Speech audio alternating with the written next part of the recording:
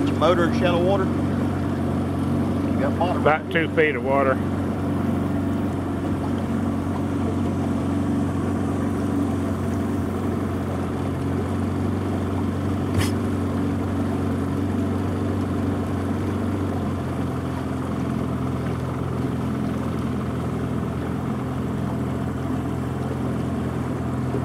We ain't going much further, that's for sure.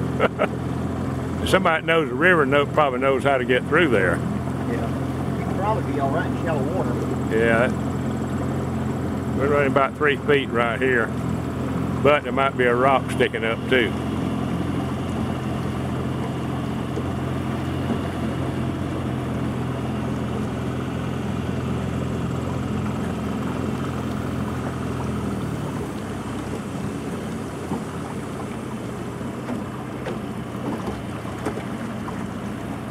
Yeah, it's quite a deal. There's more rapids on up, up further.